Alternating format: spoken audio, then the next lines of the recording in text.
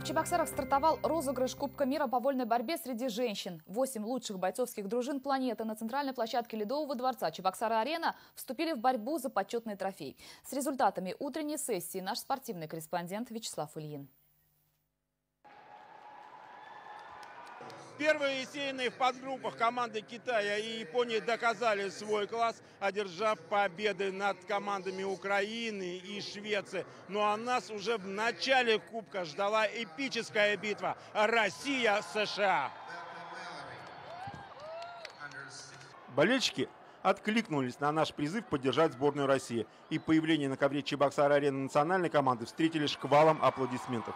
Такое отношение было понятно. В составе сборной России в категории до 58 килограммов выступает представительница Чувашии, уроженка Канарского района Вероника Чумякова, спортсменка в красном трико. К моменту ее выхода на ковер сборная России уже уступала американкам со счетом 1-2. Но чемпионка мира среди студенток сумела одержать победу над Кейлой Миракл, тем самым сравняв счет противостояния. Всю нашу команду поддержат, и из-за этого больше э, волнительности охота выступить лучше, чтобы нами гордились. Дорогие болельщики, придите сегодня, поддержите нас. Победный почин Вероники подхватили Юлия Пранцевич и Анжела Фоменко. Однако удержать преимущество хозяйкам ковра не удалось. В итоге ничья. 4-4.